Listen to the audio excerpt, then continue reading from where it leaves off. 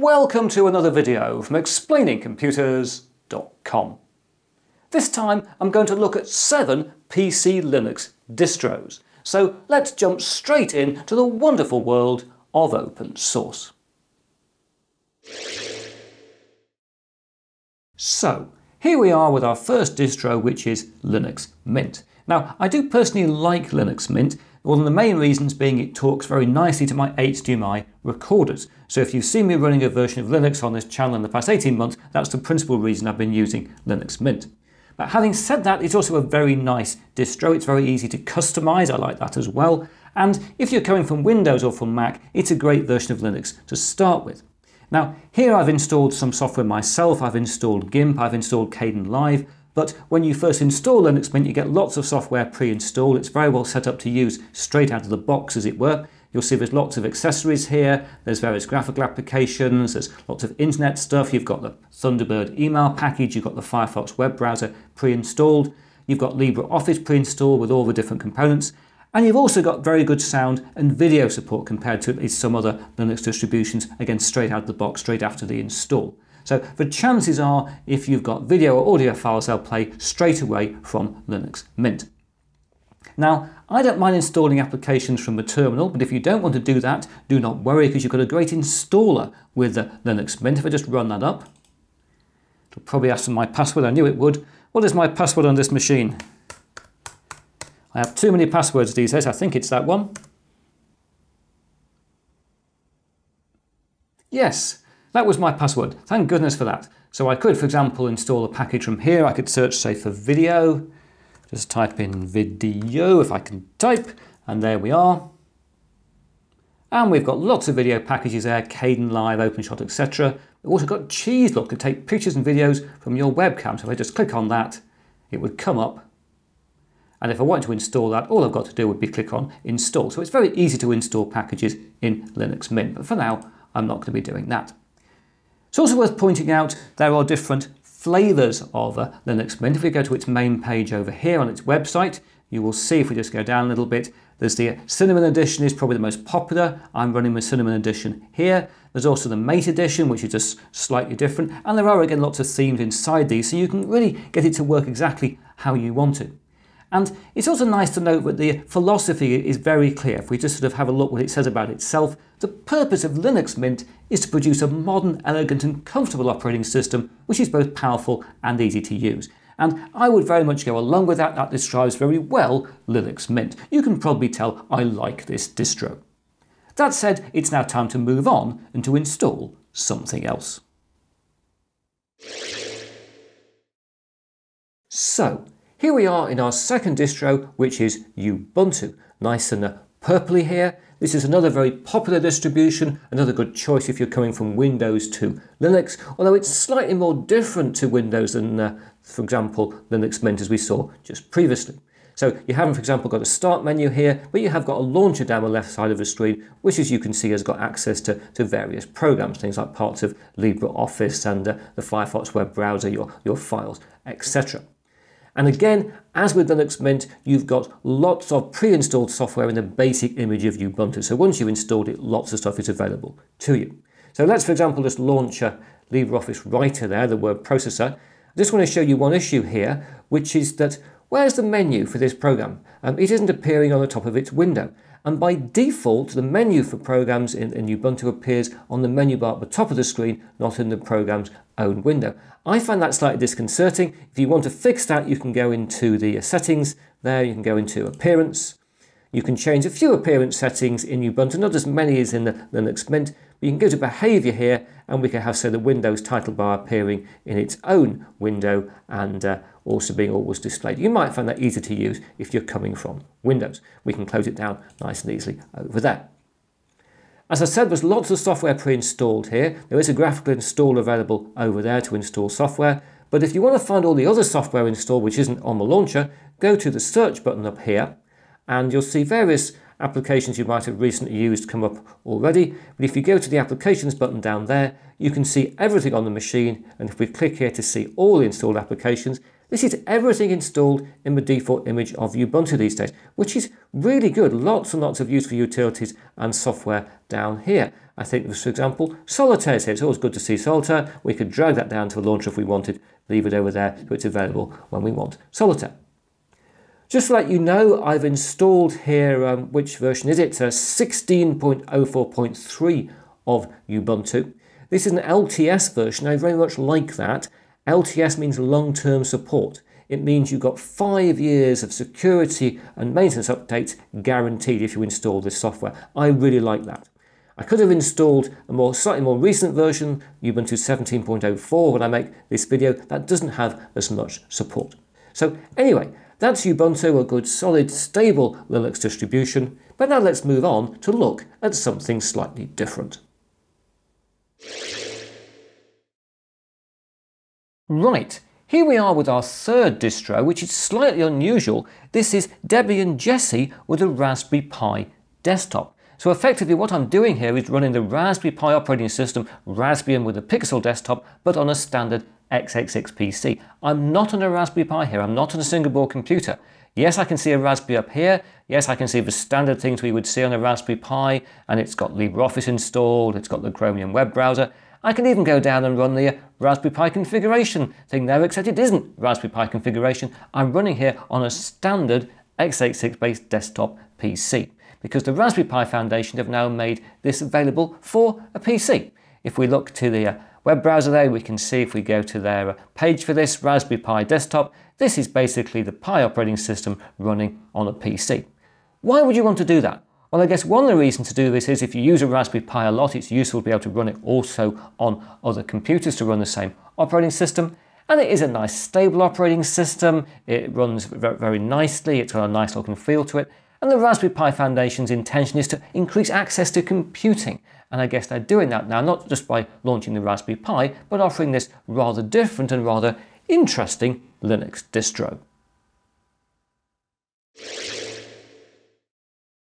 So, as our middle distro, I'm trying out Manjaro, which I'm running from a USB drive, but it seems to be running very nicely from a USB drive. The main reason I'm actually running this is because uh, some of you have said to me, you should try Manjaro, and I try to listen to you now and then, and uh, therefore I'm having a look. And I must admit, I do like the interface here. If we go down here, this is uh, very nicely done. Look, you've got um, a menu, and then you can see things inside the menu. Again, we've got the Firefox web browser, Office, we've got LibreOffice and everything else. Very nicely uh, set up, quite a good solid uh, distro. This, a lot of stuff again in, in the basic in, install, but I do like the way this is put together. This is a nice interface and uh, I can see why therefore a lot of people have said to me, try that Chris, I think you'll really, really like it. And uh, if we go to the, the, web again, just to look at its a website, as you can see, this is the version I've just installed. This is the version with the uh, XFCE interface, which is a nice lightweight interface which works really well. But there are other versions as well. This seems to be a, a big project. You can get it with all the different uh, next interfaces you want. I don't particularly like the GNOME interface, but I know some people do happen to like that. But uh, overall, this seems to be a, a great project, a fantastic version of Linux, which um, you know I'd be very happy to, to use. So uh, I'm glad people pointed it out to me. But now let's move on to look at something else.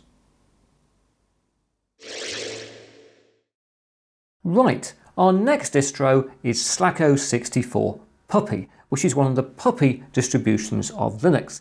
And these are basically cut down versions of Linux, optimized versions of Linux, which don't take a lot of install space. There's less than 200 megabytes for the whole image here. And so they run very well on lower end hardware and they run very well from a USB drive. And if we just look down here, you'll see on the, the menu, there's a lot of things included. It's been uh, very efficiently done. You haven't got some of the really powerful applications installed by default in some of the other systems like a LibreOffice, but there's loads of things here. It's a perfectly workable system. And so it's all uh, sitting there for you. I'll just show you the menus in case you want to pause and have a look. Even under fun, we've got, look, we've got a invaders thing, a game. I haven't figured out how to make that work, but I'm sure it's very exciting. So we, uh, shall we kill this? We will, will indeed. And uh, over here we have got a launcher. We could launch things like the AbiWord word processor, which in fact I've also got on my desktop, haven't I? I could type the word hello and make it nice and big. Best test of any operating system. Can you launch a uh, word processor and write the word hello and make it big? You can, it works. That's really good. Get rid of that. Close without saving. And if I just nip to the Firefox web browser, this is a cut down Linux operating system, but it's still got Firefox included, which is really good to see. And if I go to the uh, Puppy Linux homepage, there's both a puppylinux.com and puppylinux.org website. I don't quite know why, maybe someone will tell me in the comments here, but as you can see, it reminds us it's a really nice, uh, efficient size version of Linux. And if you want to have a go, want to download the thing, you can go down to a download page. You can see specifically here I'm running a Slacko 64 Puppy 6.3.2. But anyway, if you want a small, compact, easy to download and run version of Linux, particularly from a USB drive, why not look at Slacko 64 Puppy or one of its other puppy friends?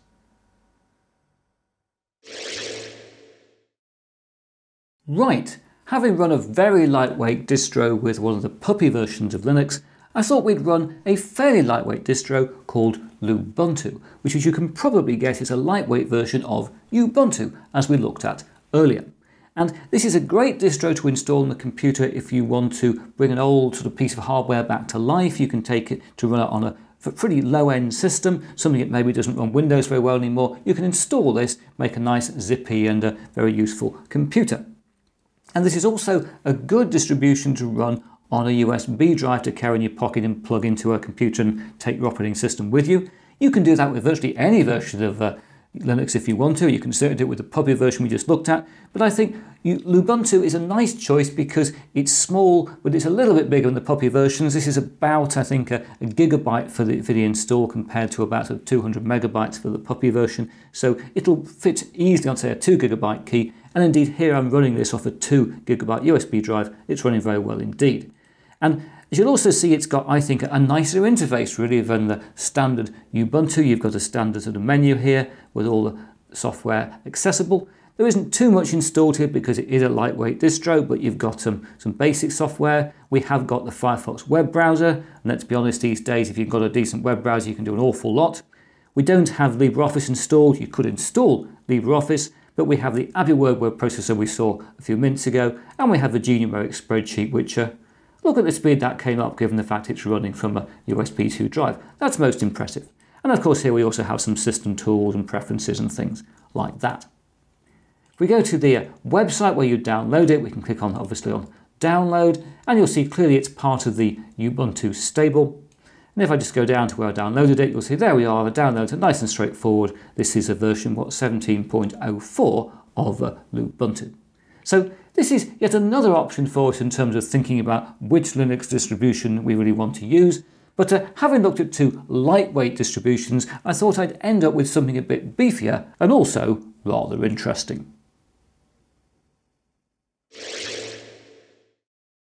Right, our final distro is this, which is a Zorin OS, more specifically Zorin OS Core I'm running here, which is very much intended to be a version of Linux you can run if you're really used to Windows or Mac and you want to transition across and you want things to look as, as close as possible. And I think as soon as I open up the, uh, the menu here, you'll see that this is rather Windows 10-esque, isn't it? You know, we go into accessories and they appear there. We can go back again. We look under, say, Internet, we've got um, Chromium web browser here. We look under Office, it's, uh, as you would probably expect, LibreOffice is in there. So this is a very Windows-like um, Linux implementation. And it's even got Wine there by default, which that's the, uh, the program that can allow you to run at least some Windows applications under Linux. I must try that in a bit more depth in a, in a future video. If I go to the uh, settings, you will see that you can actually change the, the look of it. If I open that thing up there, probably didn't need to double click. So anyway, that's what we're in at the moment. That's the default. You can go to a more um, standard Windows looking like uh, thing. You'll now see open windows are coming up as the uh, little uh, bars at the bottom as we used to perhaps in earlier versions of Windows, rather than going across to that version where they come up as uh, little uh, icons like that. There is a version over here which is a more Linuxy type desktop. I won't click on that here because it takes ages to go back and forth. It would end up looking a bit like this.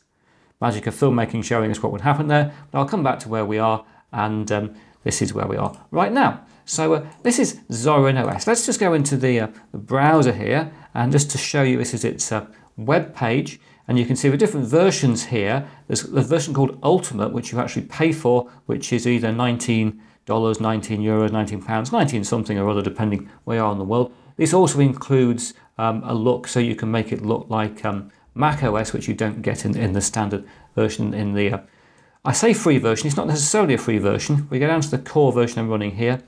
It's got a lot with it, LibreOffice we've just seen, a lot, everything you really want built in, like so many of the distros here. You can choose what you pay. You can put a custom amount of zero in, in which case you can download from there without having to pay anything. Uh, you might want to pay something. The only thing I've got against the paying thing here, if you choose to uh, do it and pay, uh, you have to put a credit card number and you can't use PayPal, which is, uh, to my mind, a little bit scary.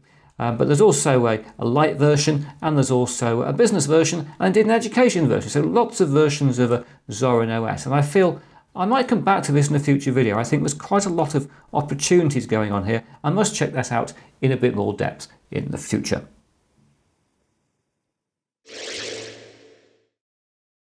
Well, that was a long and interesting day. I don't think I've ever downloaded and installed as many operating systems in such a short period of time.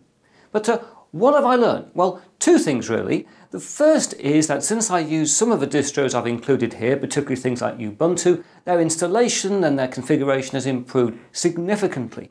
All of the distros I use today have been downloaded and installed and just worked straight out of the box, straight out of the install very well indeed. And that's a very good sign for Linux and it is getting easier and easier to get into Linux and make it work properly on your computer.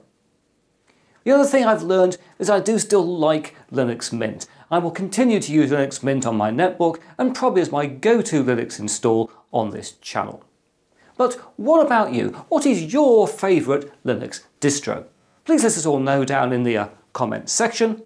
But now that's it for another video. If you enjoyed what you've seen here, please press the like button. If you haven't subscribed, please subscribe. And I hope to talk to you again very soon.